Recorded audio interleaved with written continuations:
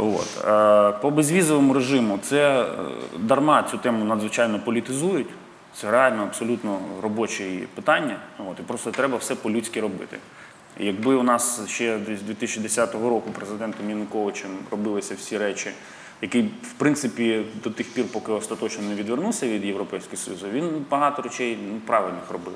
Тобто контролював якраз на європейському напрямку, щоб рухалась робота.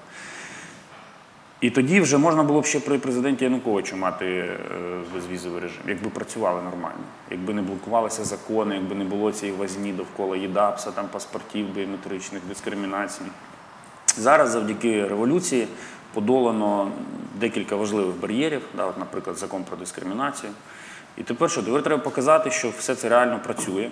Тобто закони працюють, все, все ми готові, паспорти біометричні ми виготовляємо і рухатися вперед. Тому безвізовий режим більш ніж можливий. Е, Я не готовий, там президент сказав, що з 1 січня 2015 року супер, якщо це буде так. Е, Ну, це, це дуже швидко. Да, але це реально залежить від того, просто наскільки ми швидко зробимо свою роботу домашню. От і все.